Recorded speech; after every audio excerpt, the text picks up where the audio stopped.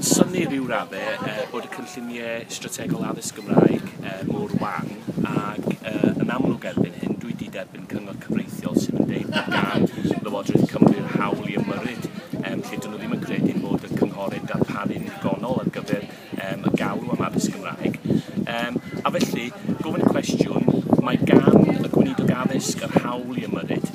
yn amlwg y prif weinidog sydd yn gweithredu o ran yr iaith Gymraeg ac e, yn gofyn cwestiwn ynglyn â pam di un, un o'r ddau e, yn barod i ymyryd um, yn ôl uh, y ddeddf uh, lle mae'n amlwg erbyn hyn bod rhai cynghorau'n methu. Pa gyngorau uh, yn benodol?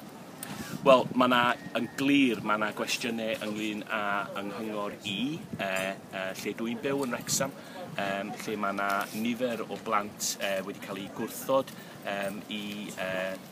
dosbarth meithrin a hefyd i dosbarth derbyn. Mae yna gwestiynau hefyd ynglyn â y ffaith bod yna gynllun strategol wedi cael ei dderbyn gan y swyddogion yn y Llywodraeth eh, ar gyfer Sir y Flint, e, lle dod nam sôn rhyw bythefnos cyn i Sir y Flint eh, gyhoeddi bod nhw'n awyddus i, i gau neu ymgynghori ynglyn â cau e, Ysgol Mornant yn Picton, a hefyd wrth gwrs um, y cyngor drws nesaf, felly dwi'n e, yn edrych ar y cyngor yn ymhatch yn hun yn y gogledd, e, cyngor sydd ddim byd, lle mae nhw'n awyddus i um,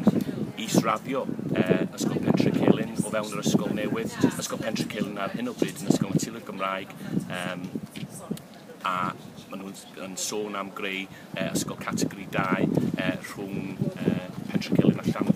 Felly, yn gofyn cwestiwn ynglyn â sut mae'r Llywodraeth yn derbyn y cynllun yma ac o fewn wythnosau y cynghorau yn mynd yn groes i'r cynllun sydd wedi cael ei dderbyn. Oeddech chi hefyd yn sôn am eich pryder chi bod na ddisgyblion ar y ffin yn, yn croesi um, ac yn mynd i ysgolion yn, yn Lloegr. Oes, mae hynny wedi bod yn digwydd ers blynyddoedd. E, mater o safone ydy hynny yn hytrach na, na iaith. Um, e, yn amlwg mae gan y cynghorau yn y gogledd ddwyrain llawer iawn i'w wneud. Un, un peth arall sy'n ymryderi wrth gwrs ydy lefel y buddsoddi um, e, draw yn Lloegr y gymharu um, a lefel y buddsoddi yma yng Nghymru. Um, mae yna enghreifftiau lle mae yna ysgolion newydd wedi cael eu creu yma yng Nghymru wrth gwrs.